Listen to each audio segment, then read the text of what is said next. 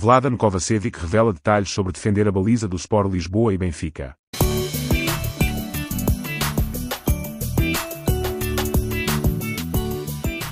Bem-vindos benfiquistas.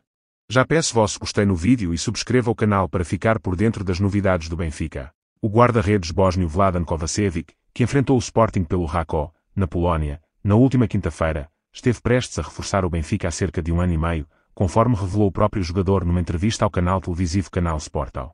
Estávamos no verão de 2022 e Roger Schmidt manifestava interesse em contratar um jogador que já seguia desde os tempos do PSV Eindhoven.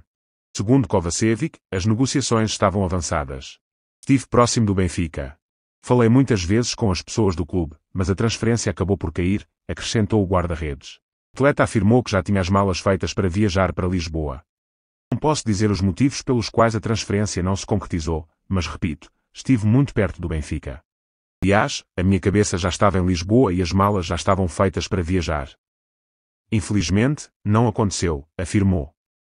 Kovacevic, de 25 anos, encontra-se na sua terceira temporada ao serviço do Rakó.